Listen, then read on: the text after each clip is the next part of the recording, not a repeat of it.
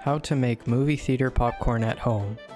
You'll need a whirly pop, half a cup of popcorn kernels, a tablespoon of canola oil, and half a teaspoon of Flavicol. A whirly pop is a stovetop popcorn maker that can be purchased at many stores. And Flavicol is a secret ingredient used by many movie theaters. It can be purchased online. Add the oil, kernels, and then the Flavicol to the whirly pop. Set the stovetop burner to medium. Stir the whirly pop intermittently. Wait for the popping to start.